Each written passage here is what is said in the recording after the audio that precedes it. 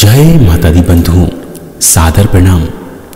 इस वीडियो में हम आपको बताने जा रहे हैं वृषभ राशि के महाराशि फल के बारे में।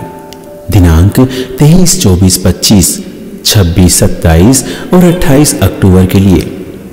आपसे अनुरोध है कि इस वीडियो को आप आखिरी तक देखें जिससे कि वृषभ राशि वालों को पता चल जाएगा कि उनके साथ आगे आने वाले छह दिनों में क्या क्या हो सकता है। इस तरह के वीडियोस और पाने के लिए देशी भक्ति चैनल को ज़रूर सब्सक्राइब करें, बेल आइकन ज़रूर दबाएँ और अपने मित्रों के साथ ज़रूर शेयर करें। आपको बता दें कि इन दिनों के पहले दो दिनों में आपको कामकाजी जीवन में अच्छी बढ़त रहेगी। यदि आप कहीं साक्षात्कार के लिए जाना चाह रहे हैं तो प्रयास करें, आप सफल रहेंगे। इस दौरान आपकी सेहत अच्छी रहेगी, घर गृहस्थी में खुशियों की स्थिति रहेगी। पत्नी व बच्चों को भी अपने व्यस्त समय से कुछ समय देने के लिए आप तैयार रहेंगे। इन दिनों के अगले दो दिनों में आपको उम्मीदों से कहीं अधिक लाभ होगा। अध्ययन के क्षेत्रों में आपके प्रयास सफल रहेंगे। विषयों में आपकी अच्छी पकड़ रहेगी।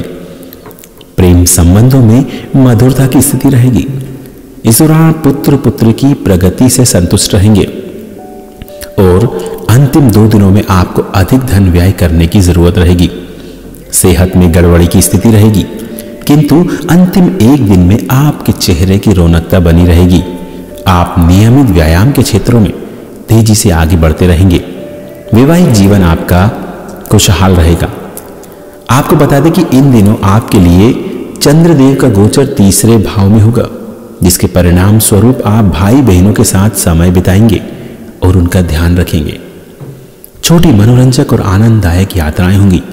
जिनसे आपको धन लाभ भी होगा। इसके बाद चंद्रदेव आपके चतुर्थ भाव में विराजमान होंगे और इसके परिणाम स्वरूप कार्य क्षेत्र के साथ साथ पारिवारिक जीवन में भी अच्छे समय की आवाजाही होगी।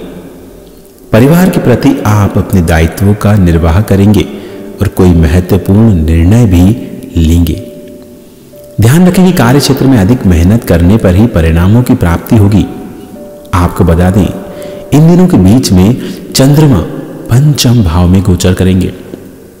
जहाँ मंगल से युति करने के बाद चंद्र मंगल योग बनेगा और अच्छी आमदनी का स्रोत प्राप्त हो सकता है।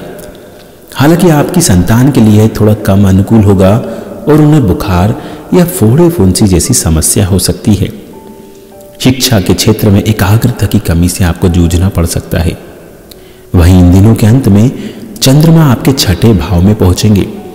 जहाँ पर सूर्य और शुक्र की युति है। इस स्थिति में महिलाओं से अच्छा व्यवहार करना आपको बेहतर परिणाम देगा।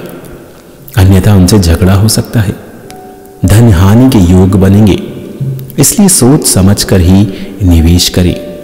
बुद्ध देव का गोचर आपके सातवें भाव में होगा। जिसे दाम्पत्य जीवन में जहाँ एक और मीठी मीठी बातें होंगी तो वहीं बुद्धि का टकराव भी होगा। हालाँकि बृहस्पति की उपस्थिति आपके लिए अधिक अनुकूल नहीं होगी, इसलिए इस समय को आराम से निकल जाने देने में ही आपकी भलाई है, क्योंकि तभी आपका दाम्पत्य जीवन सुचारू रूप से चल पाएगा।